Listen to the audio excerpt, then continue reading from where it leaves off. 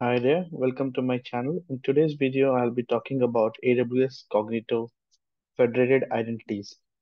So in my previous video, I was talking about uh, user pools, and it's a continuation of that part, how to use this federated identities. So we need to keep uh, look back into our previous video also. If you don't have your user pools, you have to create a user pool first in order to continue with this lab session. So basically, uh, Cognito identity pools, that is our uh, federated identities, provides different functionality compared to the user pools. So basically, identity pools are used for user authorization.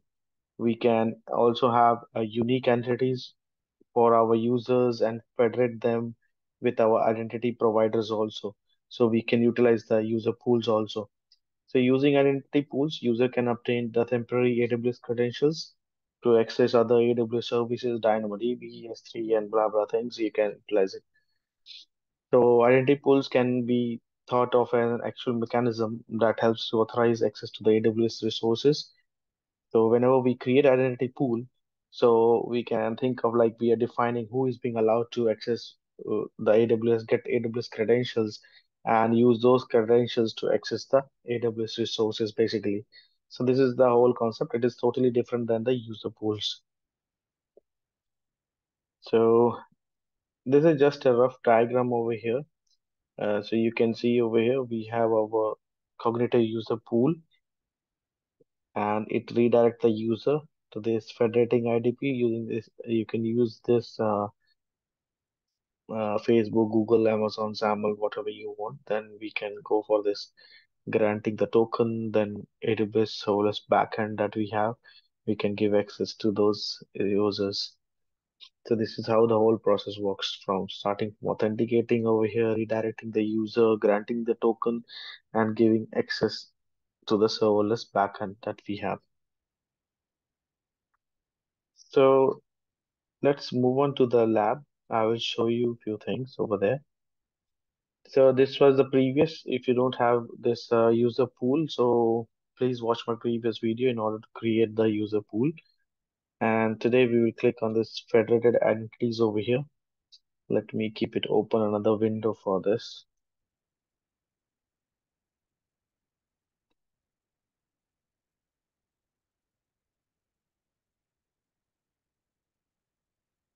Okay, so I can copy the user pool ID and all those things. Okay, so I'll go back over here. So you can see uh, this is the user pools. Then you can see over here federated identities.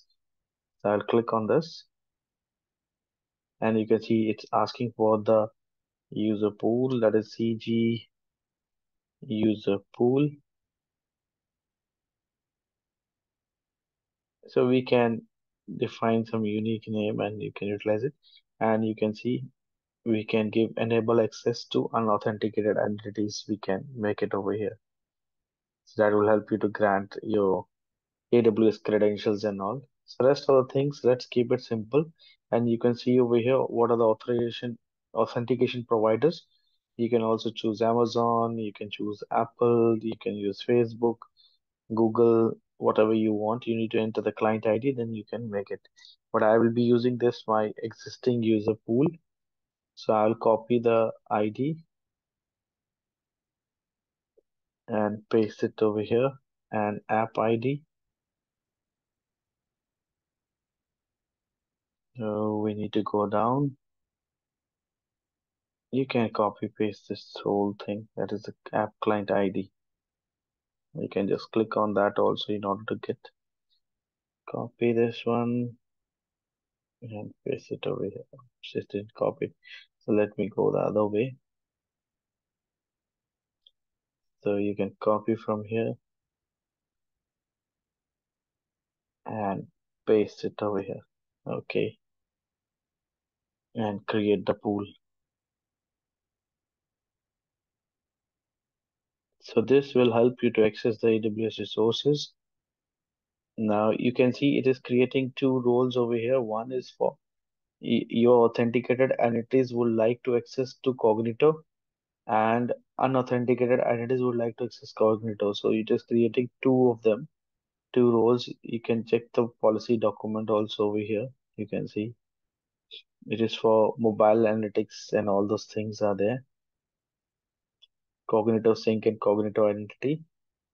So it's creating the role for that. Now, if I click allow over here, okay, some role already exists. So I will just put two over here in front of it because I already created previously example. So that's why.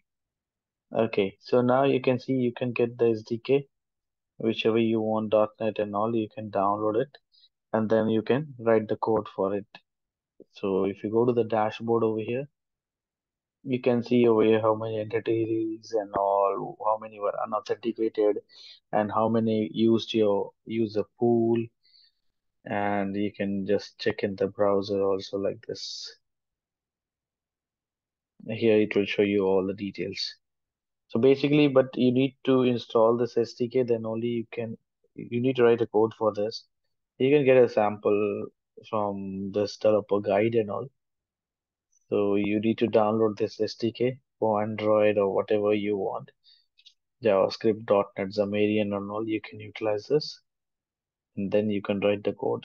So basically it is SDK. If you see the .NET one, this AWS SDK, you need to include it and you need to initialize the Cognito credentials by providing this uh, URN and identity pool ID and the region. This is how we are going to explain in that. So if this SDK is not found, basically you can download it anywhere. You can easily get this SDK. Oops. Anyways, so this is how you can utilize this federated identities. Uh, in the upcoming videos, I will try to make any small project or something like that in order to explain you more uh, properly. But uh, this is enough because you know this. Um, there there is a Cognito sync is there. Use the AWS App Sync. So I will create a video on this App Sync. So it is a new service that will help you for synchronizing the application across all the devices and all. So instead of using Cognito Sync, basically there was three parts were there, user pool, federated entities, and the Cognito Sync. So the Cognito Sync has been removed away and there is now AWS App Sync is there. So few add-ons are being added to it. So it helps you to like um, synchronize the user data, game data, or any kind of preferences and all. It will store it. Accordingly, it will uh, like for multiple users, it can sync those things and collab do the collaboration on the real time. So meetings, chat rooms, and all lots of things. So this will be quite interesting. I will show you this app sync in the next video, in the upcoming videos. I hope you like my video. Please do like, share, and subscribe to my channel. Thanks for watching.